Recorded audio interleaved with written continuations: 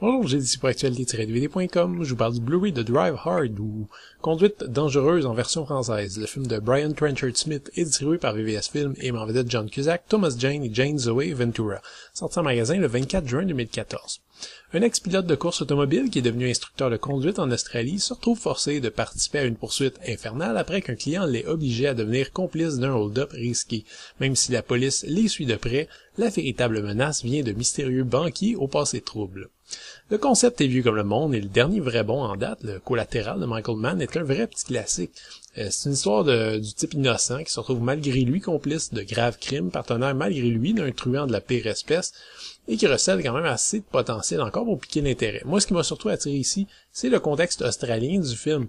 Faut dire que la pochette joue à fond sur la comparaison avec Mad Max, premier du nom, mettant l'accent sur les cascades en bagnole et les modèles d'auto vintage. Bref, les Australiens ont une fière et noble histoire de films d'action poussiéreux, méchants et géniaux surtout, en grande partie, mais pas seulement à cause de Papy George Miller. Malheureusement, Drive Hard est tout simplement pas un film d'action. C'est globalement une comédie noire sur fond de vague thriller avec une ou deux scènes d'action pas spécialement phone. Bref, on est finalement très loin de Mad Max, autant se le dire tout de suite. La première vraie poursuite du film semble à ce point au ralenti qu'on a l'impression que les policiers, comme les fugitifs, respectent les limites de vitesse. C'est à ce moment qu'on va avoir envie de chercher d'autres qualités. Pour la petite mise en contexte, Drive Hard est réalisé par le sympathique vieux routard Brian Trenchard Smith, loin d'être un novice au cinéma parmi les dizaines de longs métrages qu'il a réalisés. On tient surtout des bisseries à l'année 80 comme Turkey Shoot ou Dead End Drive-In. Il a atteint une petite notoriété culte quand même. Tarantino le considère par exemple comme un de ses cinéastes préférés ce qui m'étonne pas outre mesure après avoir entendu les dialogues et le ton étrange qui parcourt Drive Hard. John Cusack et Thomas Jane ont eu de meilleurs moments dans leur carrière, on va se le dire, respectivement à des moments différents, et on les retrouve régulièrement dans les petites séries maintenant qui sortent direct en vidéo. Cela dit, il reste deux interprètes chevronnés vraiment talentueux du moment qu'ils ont un peu de motivation, ce qui n'est pas toujours le cas avec John Cusack. Dans ce cas-ci, par contre, il semble plutôt en forme pour notre plus grand bonheur et les deux compères rivalisent et, jouent à qui cabotinera le plus. Sincèrement, c'est pas pour me déplaire. Cusack et James jouent parfaitement dans le ton du film, c'est-à-dire qu'ils ont, ils donnent vraiment l'impression d'être dans une bande dessinée vivante et leur dialogue ne manque pas de sel. Même si Trenchard Smith est considéré comme un vétéran du cinéma de genre, cependant, j'ai pas grand-chose de positif à dire sur la mise en scène.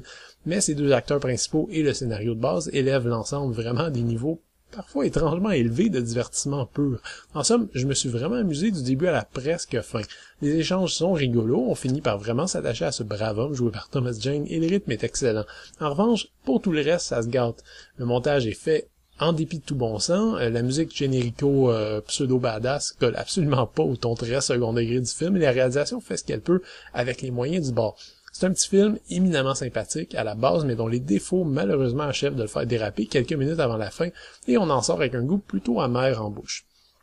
Le Blu-ray présenté à 1x78 amorphique avec piste audio en anglais au français 5.1 et sous-titres dans ces langues.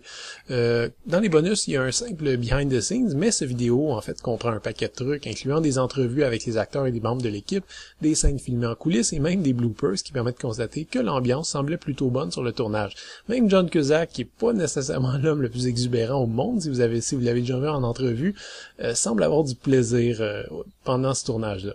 Malgré le titre, la bande-annonce et la du Blu-ray, Drive Hard vraiment pas un film d'action pur et dur. C'est une vraie comédie avec des scènes qui versent même dans l'absurde total.